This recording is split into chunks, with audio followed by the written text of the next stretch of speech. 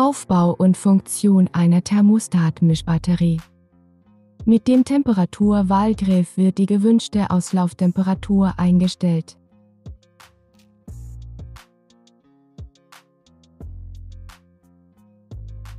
Der Sperrknopf bei 38 Grad Celsius verhindert das versehentliche Anwählen von höheren Temperaturen Verbrühungsschutz.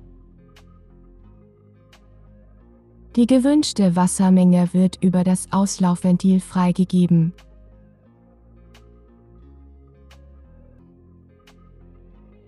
Kaltwasser und Warmwasser strömen über Schmutzfangsiebe mit Rückflussverhinderer durch die Spalte am Regelventil zum Mischwasserausgang.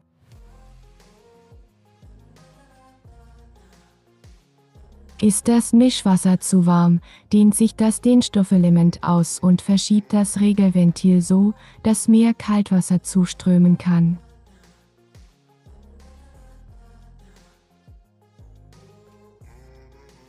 Ist das Mischwasser zu kalt, zieht sich das Dehnstoffelement zusammen und schiebt das Regelventil wieder zurück, sodass mehr Warmwasser zuströmen kann.